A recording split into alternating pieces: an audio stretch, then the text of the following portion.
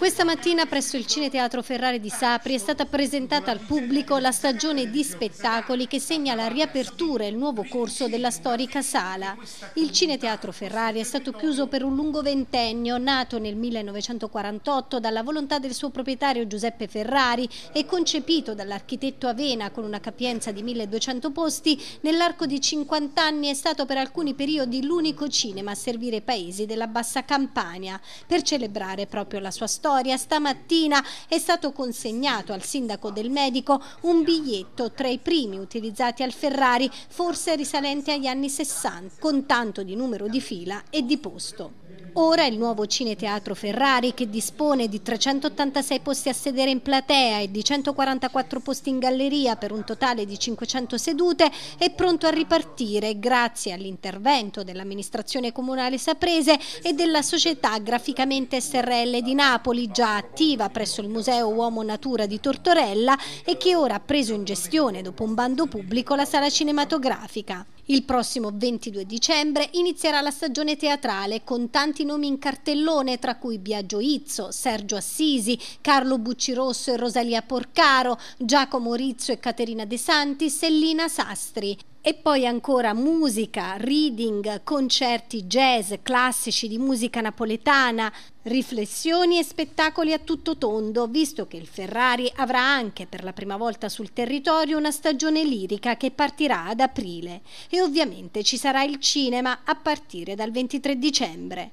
Tra gli intenti espressi stamane dinanzi alla platea, anche quella di creare un'orchestra del posto che sia di casa al Ferrari. I musicisti verranno scelti scelti attraverso delle apposite audizioni per poi diventare i protagonisti di spettacoli ed eventi. Il futuro è dunque roseo per il Cineteatro Ferrari. Il Cineteatro Ferrari riapre e cosa avete pensato per questa struttura? Allora, per questa struttura abbiamo pensato a una, una polivalenza eh, di musica, teatro, cinema e cultura. Quindi oggi eh, il Cineteatro Ferrari, ricollegandosi comunque alla tradizione della sua storia, vuole eh, riproporsi in maniera eh, poliedrica, quindi polifunzionale. Eh, si parte il 22 con il teatro, con lo spettacolo di Biagio Izzo, è stata anche annunciata una stagione lirica che sarà inaugurata ad aprile, eh, ancora da mettere a punto il programma cinematografico, si parte però il 23 dicembre, come mai? Allora, perché eh, stiamo eh, praticamente acquistando dei proiettori di ultima generazione che vanno direttamente in sala, quindi non hanno più bisogno della vecchia eh, cabina di regia, questo per permettere anche eh, l'utilizzo multidisciplinare della sala stessa. Questo ehm, purtroppo ci eh, dà dei compromessi che sono quelli di un periodo di traghettamento per eh, ottenere questo nuovo sistema, questo nuovo impianto che eh, ci dà un mesetto e mezzo circa ehm, praticamente di stand by tra un impianto e l'altro, cosa che comunque eh, riusciremo a sopperire entro il 23 con una piccola programmazione iniziale dove eh, saranno proiettate delle prime visioni. Qual è l'assentore per quanto riguarda l'avvio di questa nuova stagione del Ferrari?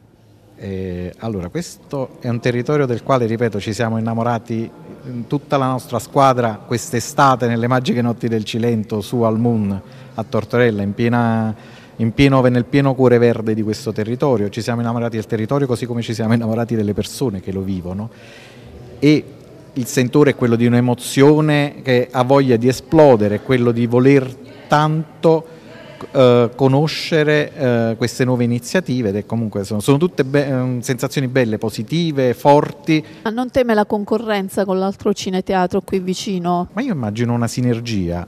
Ho eh, avuto eh, la fortuna di vedere un po' la loro programmazione cinematografica in particolare, mm, ci setteremo sicuramente in modo da non accavallarci. Io penso che sia molto più intelligente, molto più utile, molto più razionale eh, per il territorio creare rete, farsi forza il cinema era già aperto, già era stato visto al pubblico, oggi si conosce il programma, attendiamo i dettagli del, del, della programmazione cinematografica, comunque si parte il 22 con Izzo, le sue, diciamo, cosa prova adesso oggi?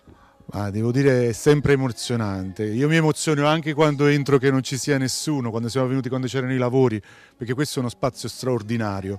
Ho detto nella conferenza, questo è il cuore della nostra città oggi diamo sangue a questo cuore, ma è la forza del paese che sarà della nostra comunità, del nostro territorio che può davvero dare a questo spazio il, la sua dimensione reale. E siamo orgogliosi di essere eh, attori di questo, di questo, progetto. La programmazione che è stata presentata oggi è una programmazione di grande respiro, è una programmazione che dà, mette al centro la cultura, il progetto, c'è il cinema, c'è il teatro, c'è la musica, c'è lo stare insieme. Ecco, questa è la grande sfida.